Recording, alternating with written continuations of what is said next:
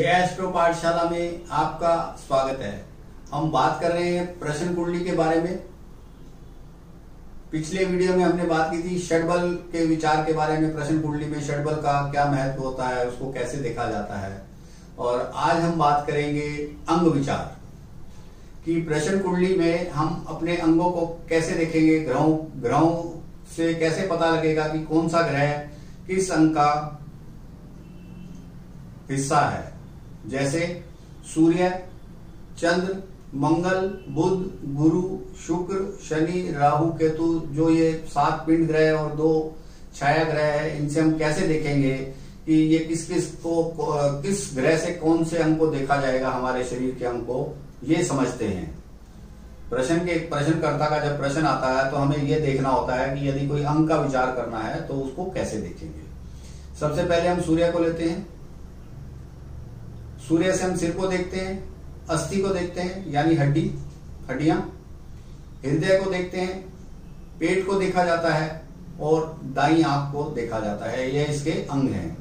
यदि अंगों के बारे में विचार करना हो तो हम सिर को देखेंगे, अस्थियों को देखेंगे, हड्डियों को, हृदय को देखेंगे, पेट को देखेंगे और दहनी आँख को देखेंगे। यदि हमें चंद्र से रिलेटेड कोई अंग देखना हो तो पेट को देखेंगे, रक्त के प्रवाह को देखेंगे मुखमंडल की आभा देखेंगे और चेहरे को देखेंगे इससे, चंद्र से। और यदि हमें मंगल से देखना हो, मंगल शुभ प्रभाव में है या पाप प्रभाव में है, यदि शुभ प्रभाव में होगा तो शुभ फल देगा, पाप प्रभाव में होगा तो पाप फल, पाप प्रभाव में होगा तो कष्ट देगा हमें तो क्या कष्ट देगा? हमारे कंठ में प्रॉब्लम हो सकती है, हमारी गर्दन रक्त में प्रॉब्लम हो सकती है, और जो हड्डियों के अंदर मज़ा होती है, जो जिसको बोन मैरो बोलते हैं, उसमें कमी कर देगा, अगर मंगल कमज़ोर होगा। तो मंगल से हमें अंगों का क्या पता लगा? कंठ का पता लगा, मज्जा का पता लगा और रक्त का पता लगा, क्योंकि मंगल रक्त का कारक है।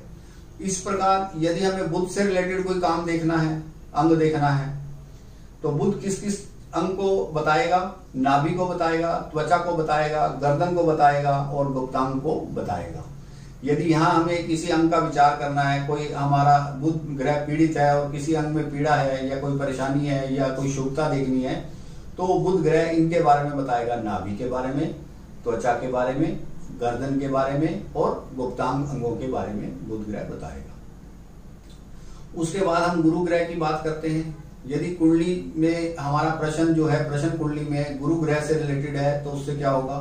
हमारी कोहनी में कोई प्रॉब्लम है, नाक में कुछ प्रॉब्लम है, या चर्बी की प्रॉब्लम है, या मेद मेद जिससे चर्बी बनती है, शरीर के अंदर जिससे चर्बी बनती है, उसको मेद कहते हैं, या इसमें कोई प्रॉब्लम है तो इन अंगों को हम देखेंगे कि क्या इसमें कमी आ रही है, ये हमें गुरु ग्रह बताएँगे। इसके बाद हम शुक्र की बात करते हैं। शुक्र से हम क्या क्या देख सकते हैं अंगों में? नेत्र, क्योंकि ये नेत्र ज्योति का कारक है। शुक्र ज्योति का कारक है तो हमें नेत्रों में कुछ परेशानी अगर समझनी है तो नेत्रों के कारक शुक्र को समझना पड़ेगा। ये वीर्य का कारक भी है, शुक्र वीर्य का कारक भी है और मूत्रिय भाग का अगर कोई हमें परेशानी है, अंग की कोई परेशानी है तो वो भी हम शुक्र से देखेंगे कि अगर हमारा शुक्र पीड़ित है तो यहाँ यहाँ प्रभाव हो सकता है। अगर शुक्र पीड़ित नहीं है तो यहाँ शुभ प्रभाव होगा। उसके बाद बात करते हैं शनि की। शनि से हम कौन कौन से अंग देख सकते हैं? हमारी नसें, टांगे जिसको नसों को हम सुनायु भी कहते हैं, त्वचा के रोग या त्वचा के बारे में कुछ बात करनी है तो शनि उसका अंग है शरीर का। हड्डियों के बारे में अगर हड्डियाँ कमज़ोर हो रही हैं, तब भी, क्योंकि हड्डी हड्डी को कमज़ोर कर देता है शनि तो उसको शनि हमारा कमज़ोर होने से हड्डियों के बारे में हमें पता लगेगा। तो इस प्रकार शनि से हमें क्या क्या पता लगा? त्वचा का पता लगा। हड्डियों का पता लगा नसों का पता लगा टांगों के बारे में अगर कोई प्रॉब्लम है टांगों का पता लगा ये टांगों को डिनोट करता है। और स्नायु तंत्र हमारा कैसे है उसमें नसें कैसे काम कर रही हैं शनि उसमें वीकनेस ला सकता है या उसमें शुभता ला सकता है। उसके बाद हम राहु की बात करते हैं। राहु से हड्डियाँ देखी जाती हैं ज्वाइंट्स देखे जाते हैं क्योंकि गठिया का रोग होता है तो यहाँ से पता लगता है ज्वाइंट से जिसे सं, संधिवात भी कहते हैं। चेतना तंत्र के बारे में बात करना चाहते हैं तब भी हम राहु को पीड़ित देखने राहु के पीड़ित होने से हमें पता लगेगा कि चेतना तंत्र में गड़बड़ है।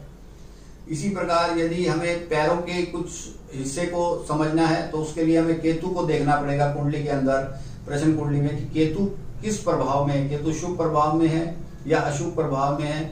शुभता और अशुभता पैरों की केतु से हम देखेंगे।